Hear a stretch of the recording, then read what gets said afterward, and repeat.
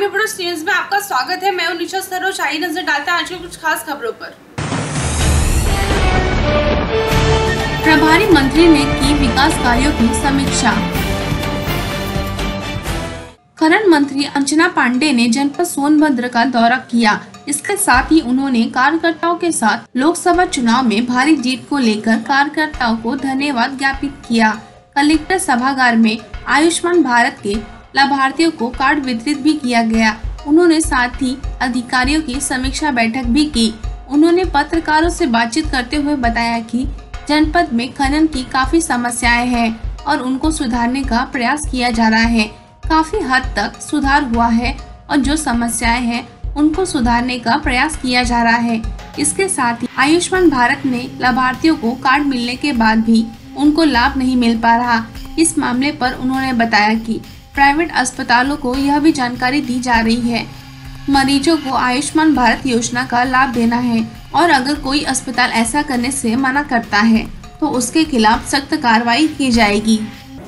कोई विशेष चीज़ तो विशेष बात तो नहीं कह सकती प्रभारी मंत्री होने के नाते जनपद में हर महीने जनपद में हो रहे सरकार के द्वारा जो महत्वाकांक्षी योजनाएँ हैं, विकास कार्य हैं, उनसे संबंधित वार्ता और उनकी जानकारी करना, तथा संगठन की भी चिंता करना, और इस बात को विशेष महत्व इसलिए इसको कह सकते हैं कि भारतीय जनता पार्टी क्या ये जो हमारे देश में ऐतिहासिक जीत हुई है, हमारे संगठन के लोगों ने जो मेहनत की है, उसके लिए आज इन सबको बधाई देने आई थी, और उसी सिलसिले में आज जैसा कि चलता है, उस नाते से आज यहाँ पर हम बैठक भी कर रहे हैं, समीक्षा बैठक जिसको बोलते हैं।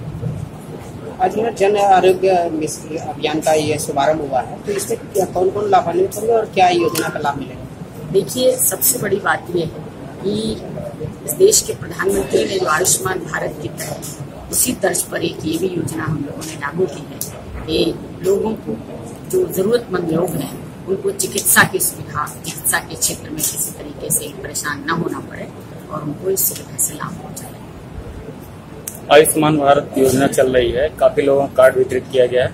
लेकिन देखा जा रहा है कि बहुत से प्राइवेट अस्पताल हैं, जिसका लाभ देने से मना कर रहे हैं और बहुत से लोगों के पास ऐसे कार्ड पहुँच गए जिसका लाभ नहीं मिल पा रहा है उनको। किसी और का कार्ड किसी और के पास पहुँच गया। देखिए, ये इस चीज़ को तो मैं मान सकती हूँ ये बहुत बड़ी व्यवस्था है।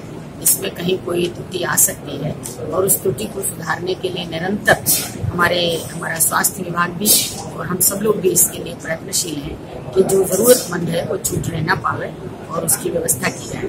जहाँ तक प्राइवेट अस्पतालों की बात आपने की है, उसमें से कोशिश की जा रही है कि अधिक से अधिक प्राइवेट अच्छे अस्पतालों में लोगों को सुविधा मिले। लेकिन जिनका जिनका पंजीकरण है और वो नहीं दे रहे हैं, ऐसा अगर संज्ञान में आता है तो उसके संबंध में वार्ता की जाएगी और भी उनको इस बात के लिए जानती हूँ कि सोनभद्र प्रमुख रूप से खनन की समस्याएँ रहती हैं। आज से नहीं, जब से मैं यहाँ आई हूँ, मैं यहाँ से यहाँ प्रभारी बनी हूँ, तब से निरंतर इसको देख रही और प्रयास भी चल रहा है, और हुआ भी है।